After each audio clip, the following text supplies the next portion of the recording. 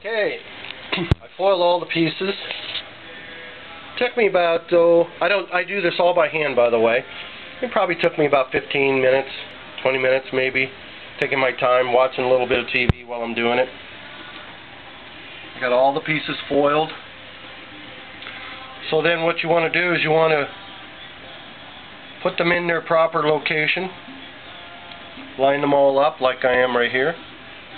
I've got the soldering iron heating up, by the way, on the sidelines. So I'm going to tack solder all these into place.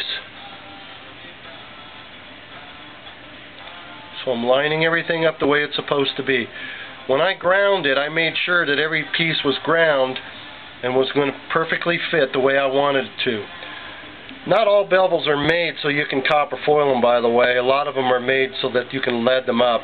So they're not fitting really tight when you most bevels when you pull them out of the package because they weren't intended in many cases to be copper foiled. Lead's very forgiving. You got a channel that hides a lot of imperfections of uh,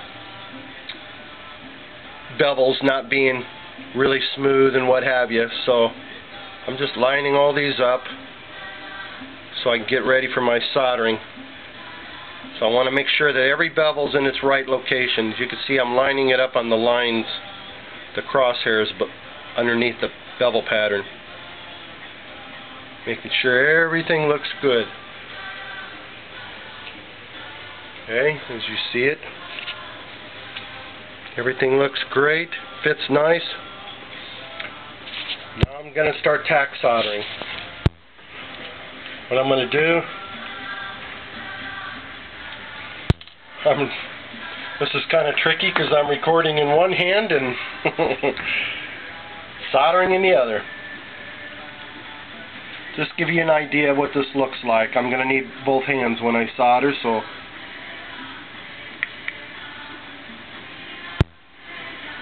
so I'm going to tack solder.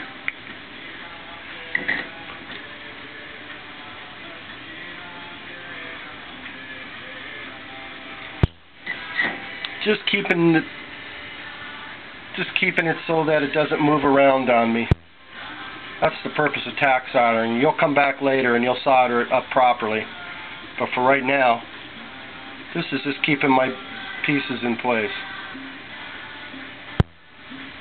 So I'm really not concerned at this point about anything looking good. It's just about, I'm putting my flux on.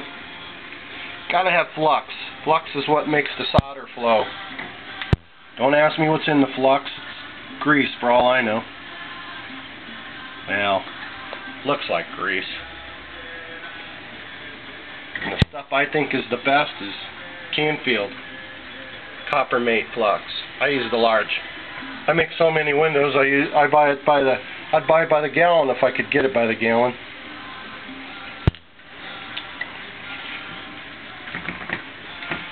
So I'm doing this, I'm holding the camera in my left hand and soldering with my right. How talented does that make me?